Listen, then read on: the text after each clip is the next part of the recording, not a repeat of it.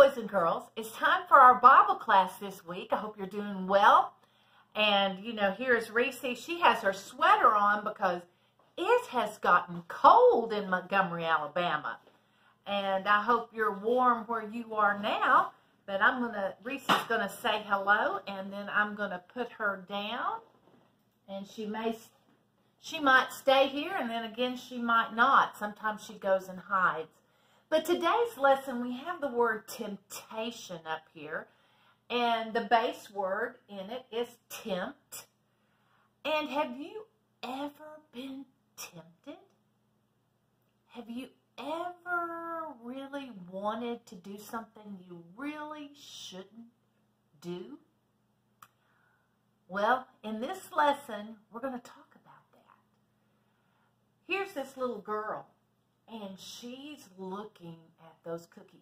And maybe it's getting close to lunch. And her mother said, No, you cannot go, Layla, to that cookie jar and get you a cookie. No, no, you can wait till after you eat lunch. Well, maybe her mother leaves the room and she's there by herself. And she thought, you know, if I go in there, there is a broken cookie right there. If I take a pinch off that broken cookie, my mother will never know. Well, you know what? Layla will know, and God knows. God knows what we think. He knows what we do. Temptation is thinking about doing something that you have been told not to do or is wrong to do, but you want to do it. That's what it is. You really want to do it. It's something you would really like to do, like to have. Well, today's lesson is Jesus' baptism and temptation. Did you know that Jesus was tempted? And we're going to find out about that today in our lesson. So I want you to open up your Bibles and go to Matthew chapter 3. And when you see verses up here, you get your Bible and you read along with me. Don't just look up here at the verses up here. You make sure it's in God's Word. Let's go on with the lesson. The memory verse is a great one. Your word I have hidden in my heart that I might not sin against you. Psalms 119, 11. What it means to hide the word in our heart, you know, to put it in our heart, we just can't take God's word and do like that. No, we have to read God's word, read it every day of our life so that we can keep it in our mind. This is our heart. And that we might not sin or do things against what God wants us to do. That's what sin is, is when we don't do what God would have us to do. Your word I have hidden in my heart that I might not sin against you. Psalm 119, 11. A great verse for us to memorize. And that book, that verse came from Psalms, which is in the poetry section of the Old Testament, but we are looking specifically the New Testament and the Gospels. So let's sing and the, the books of the New Testament right now. Matthew, Mark, Luke, and John, Acts and the letters to the Romans, 1st and 2nd Corinthians, Galatians and Ephesians, Philippians, Colossians, 1st and 2nd Thessalonians, 1st and 2nd Timothy, Titus and Philemon, Hebrews, James, 1st and 2nd Peter, 1st and 2nd and 3rd John, Jude and Revelation. I hope you sang those with me. And don't forget to sing the Old Testament books also.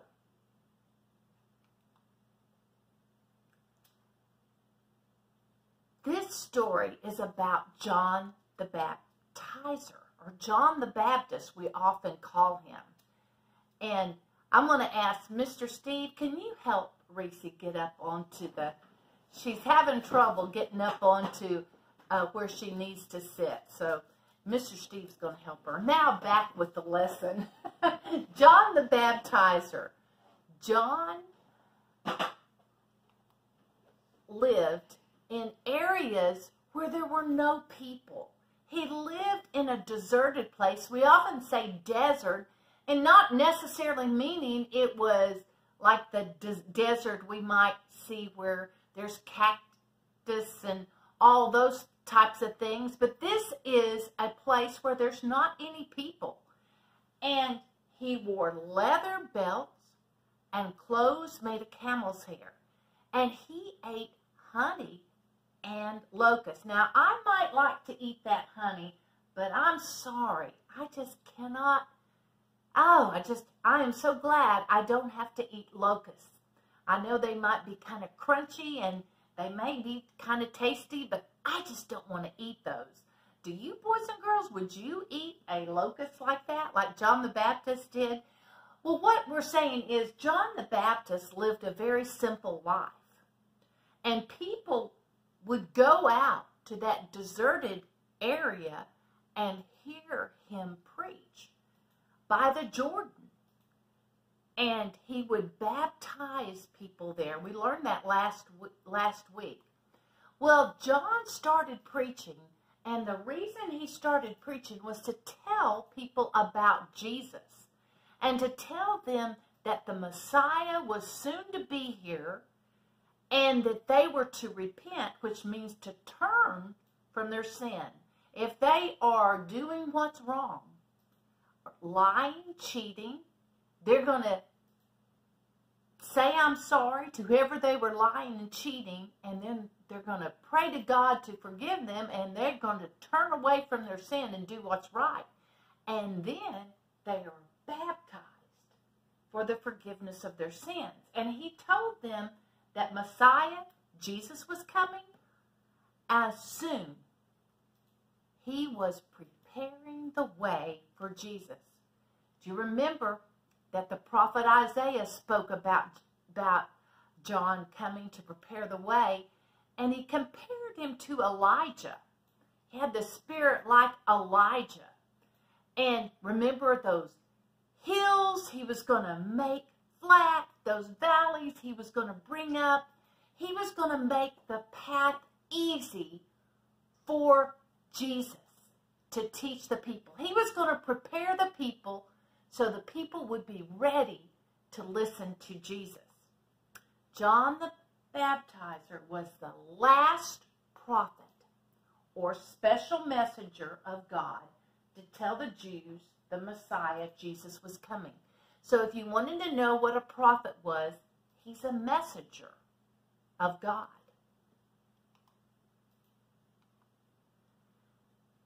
Then Jesus came from Galilee. You remember Nazareth was in Galilee. We don't know if he came from Nazareth, but he did come from the big area of Galilee to John at the Jordan River.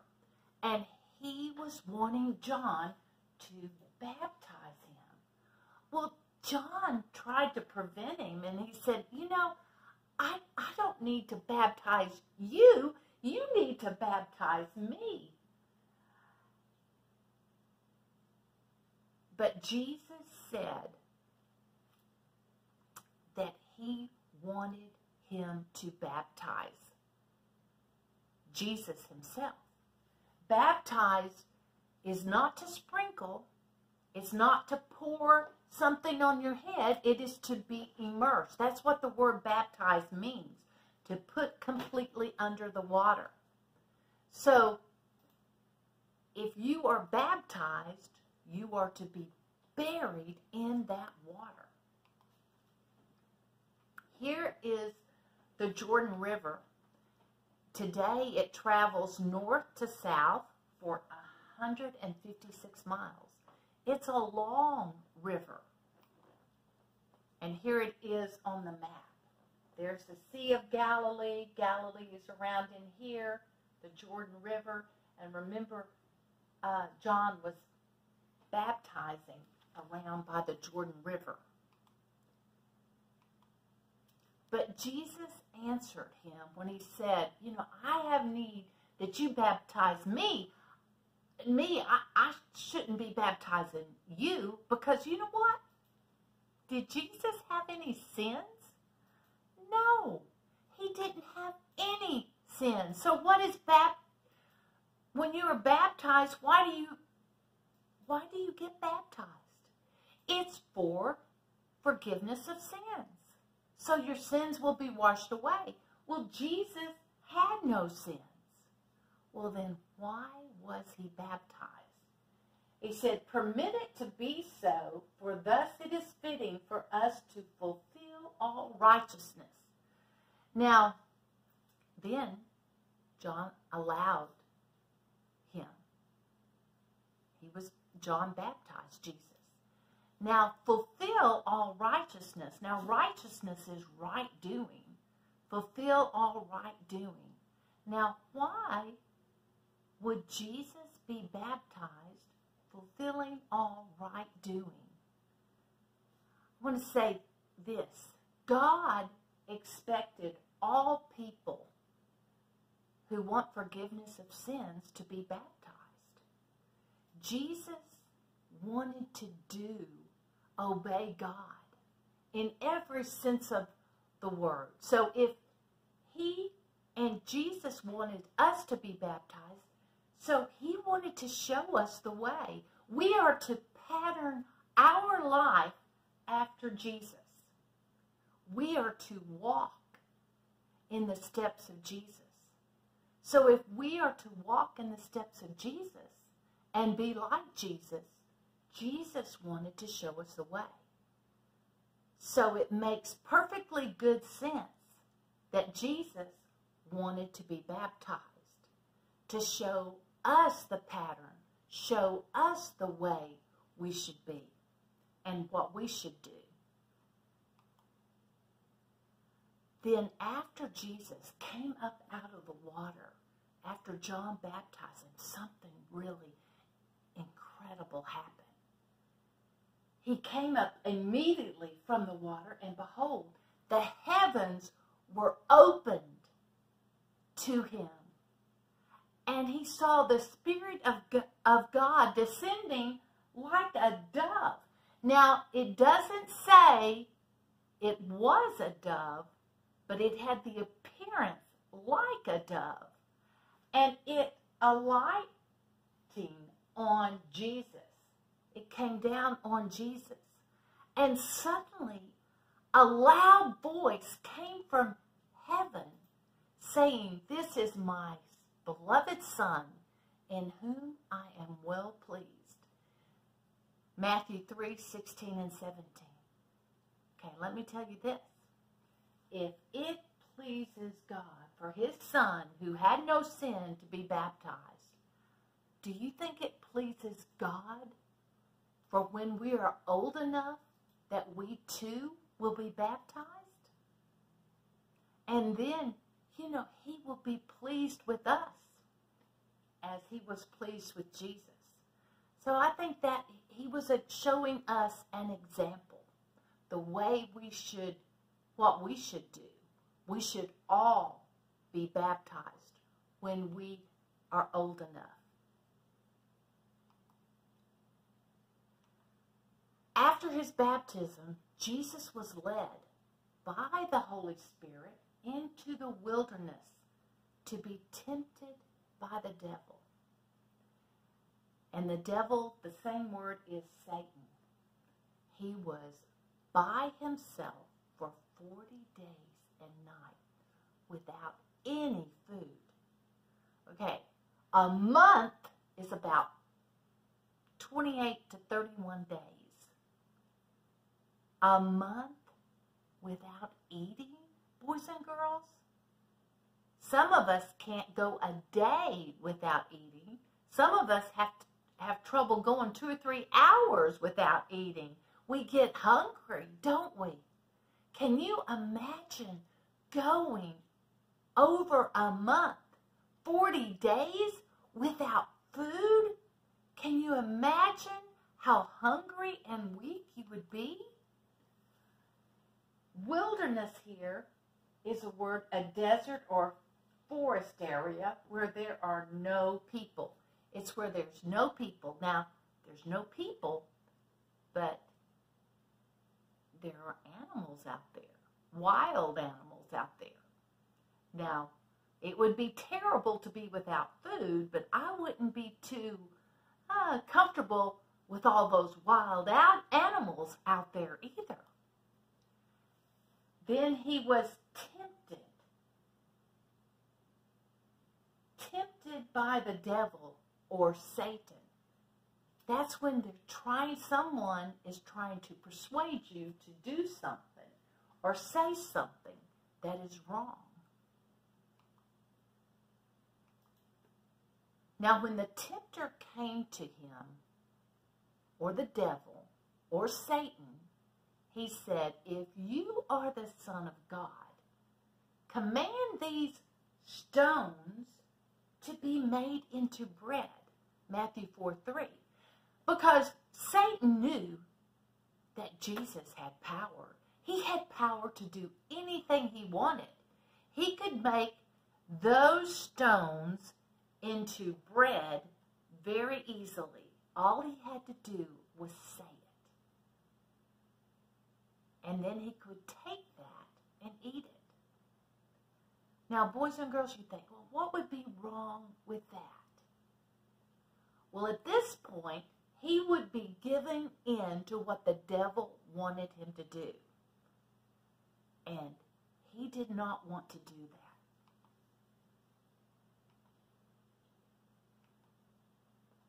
So he answered him, It is written. Jesus knew the Bible, he knew the scriptures. And he said, from the old law, see, still under the old law at this time, Jesus hasn't died on the cross. Man shall not live by bread alone, but by every word that proceeds from the mouth of God. Every word that comes from the mouth of God. Matthew 4 4. He said, You know, I don't live for just the bread of, or the food. I live to serve God and to obey God. And that's what he wanted to do. Well, the devil wasn't finished with him. He took him to that holy city, which is Jerusalem, and he set them on, on the pinnacle of the temple, which is the highest point of the temple. Now, I don't like high places, boys and girls. I'm kind of tall, but and I, I don't even like being this tall. And he said, if you are the Son of God, throw yourself down. Oh, why would anybody want to do that? But see, he's tempting him by saying this. For it is written, even Satan used God's word to twist it, to try to trick Jesus. He shall give his angels charge over you, and in their hands they shall bear you up, lest you dash your foot against a stone. Matthew 4 5. Now, boys and girls, he's saying God's not going to let you hurt yourself. He won't let that happen to you. So why don't you throw yourself down? Well, this is what Jesus said. Jesus said to him, It is written, You shall not tempt the Lord your God. Matthew 4 7. Every time Jesus said, It is written, you know what? He knew God's word. He had hidden it in his heart. And that's what we must do. Then, last temptation. Again, the devil took him up on an exceedingly high mountain, and he showed him all of the kingdoms of the world and their glory. And he said to him, All these things I'll give you if you will just fall down and worship me. Now, this one I don't understand because God owns everything. how could even say that all these things I will give you? Jesus had access to everything if he wanted it to. He came to this earth and lived a poor carpenter because he wanted to, because he wanted to save us from our sins. And here he said to the devil, to Satan, Away with you, Satan, for it is written, You shall worship the Lord your God, and him only you shall serve. Matthew 4.10. He said that directly from the Ten Commandments.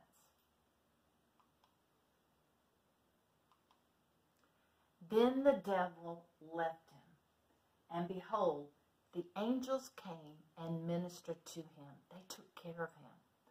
That's what ministered. They took care of him, gave him what he needed physically. And this is in Matthew 4:11. So Jesus was baptized to show us the way. Even was tempted in all points, just like we are tempted, yet without sin. How did he do it and not sin?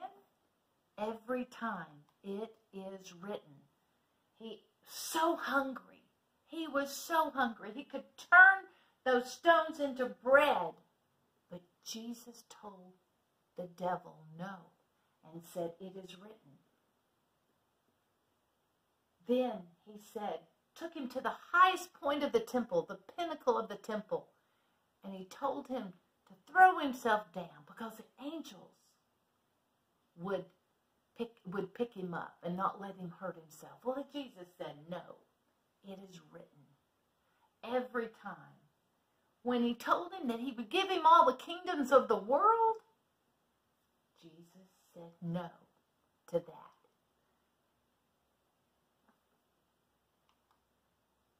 Remember, God's word is going to keep us away from temp- the temptation to sin. If we want to stay away from sin and do what's right, every day we put this in our mind, in our heart. Your word I have hidden in my heart that I might not sin against you. Psalm 119, 11. A great verse for us to say and do every day. Therefore, submit to God. Resist the devil. Resist. What does resist mean? Keep yourself away from. Say no to it. Resist the devil and he will flee from you. James 4 7. So we're just going to resist the devil and say no to cheating. We're going to say no to bullying. We're going to say no to smoking and drugs and alcohol. We're going to say no to bad, ugly words. We're going to say no to all those things. Boys and girls, I hope you have a great week. I hope you're able to come and worship with us Sunday morning at Eastern Meadows at 9:15. I hope to see you there. Bye boys and girls.